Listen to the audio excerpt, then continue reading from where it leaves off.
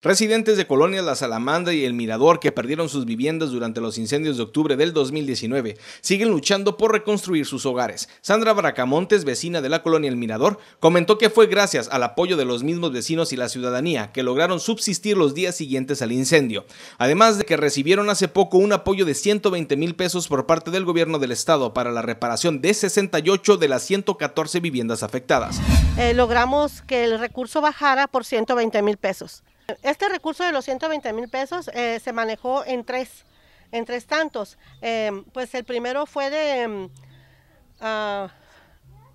25, em, ah, sí, fueron de 25 mil y el, y el segundo y el tercero creo que fueron como de 48 mil.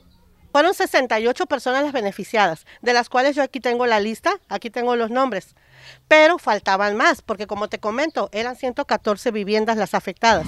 Sandra Bracamontes comentó que estos 120 mil pesos tardaron en llegar a un año. El recurso se liberó luego de que abordaron al gobernador del estado para exponerle que tenían ya un año esperando el apoyo prometido. Para diciembre de 2020 el recurso les fue finalmente entregado. Vino el gobernador con lo que es el Escorial y yo ahí hablé personalmente con él y le dije que pues por qué, el por qué o el motivo por el cual las demás personas no habían recibido ese beneficio de los 120 mil pesos.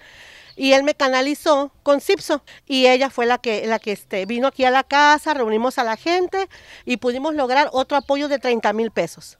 Lo acaban de entregar, tendrá, ¿qué será? Ah, empezaron en el mes de diciembre. En el mes de diciembre empezaron a entregar. ¿Este diciembre pasado? Sí.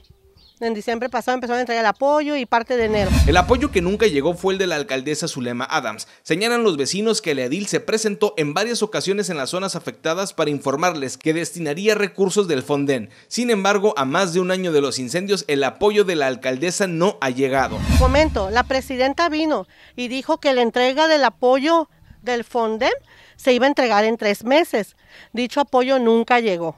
Eh, cuando ella vino para acá, este, nos trajo a una diputada y este, fue la junta en Salamandra. Y, este, y que querían que les diéramos la lista, o sea, después de dos años venían por una lista. O sea, los residentes de la Salamandra y el Mirador consideran que es una burla el que se les hayan prometido apoyos y no se los hayan entregado, pues dicen se trata del patrimonio familiar el que quedó prácticamente destruido. Para mí es una burla, que no se levanten el cuello personas que ni siquiera, que ni siquiera vinieron a hacer nada por, por aquí, por, por Mirador y Salamandra, por la colonia. Y pues, ¿qué te puedo decir? Muchas personas que, que ayudaron, en verdad. Y no fue el municipio. El municipio aquí no tuvo nada que ver. Nada hizo el municipio. Solamente venir y tomarse la fotografía y es todo. Para California Medios, con información de Kenia Rodríguez, Roberto Estrada.